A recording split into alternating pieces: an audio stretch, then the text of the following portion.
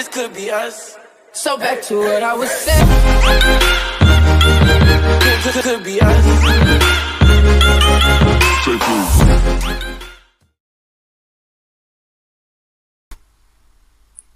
Hello guys, welcome back to my channel. It's time for Return from the Evil Invincible Master Chapter 29. When she wants to leave, Tang Shui was intercepted by a Chaos Sect member who were hunting her. Tang Shui then decided to go back with Bai Yu instead of going back with Chaos Evil Sect members. Because the Chaos Evil Sect high-ranking member ignored Bai Yu, Bayu hit the member in the face. Feeling that his cultivation base was higher than Bai Yu minds, the high-ranking member challenged Bai Yu to hit him again if Bai Yu dare. Bai Yu complete with the high-ranking member challenge and hit them again and again until one moment Bai Yu stabbed the high-ranking member with his defiance weapons. The high-ranking member didn't say that Bai Yu was forbidden to use a sword. The other members were shocked that their senior had been killed. They asked who is Bai Yu identity. They threatened Bai Yu with the consequences that he would receive for offending the Chaos Evil Sect.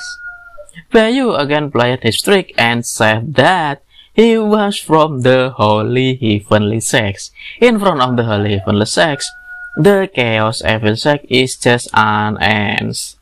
Bai Yu also asked the Chaos Evil Sect member to get, get out of his way immediately. If not, Bai Yu will not hesitate to kill all of them.